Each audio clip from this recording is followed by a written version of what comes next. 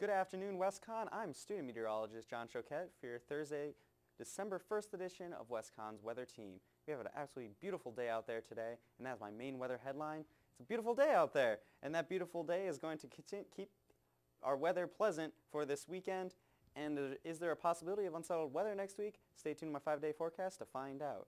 Now currently, if we look out on the Midtown campus, look at these blue skies. Not a single cloud is in the sky. We haven't seen clear skies in a few days, so go out there and enjoy it. And at 2 p.m., temperatures are much, much more seasonable with temperature around 47 degrees. And we have a light north wind at about 8 miles per hour.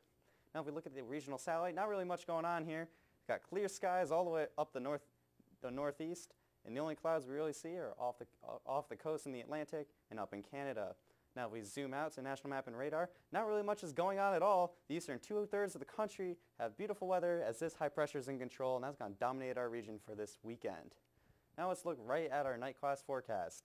It's going to be mostly clear tonight with seasonable temperatures around 37 degrees when you're heading out to class, so make, be sure to bring a jacket with you. And, and lows for your Thursday night here in Danbury, about 22 degrees, generally 20s inland and in the 30s along the coast.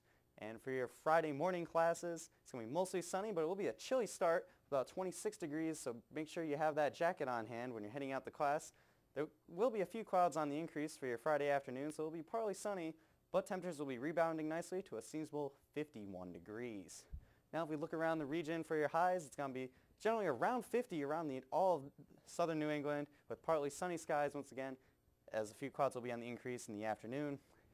Now we'll get your extended forecast.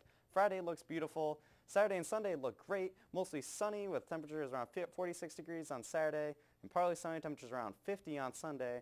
Now if we look into our beginning of our next work week, mostly cloudy skies with temperatures around 53 degrees on Monday and the possibility of a few showers for your Tuesday. But other than that, fantastic weather for the next four days or so. Be sure to always check us out online and like us on Facebook and follow us on Twitter.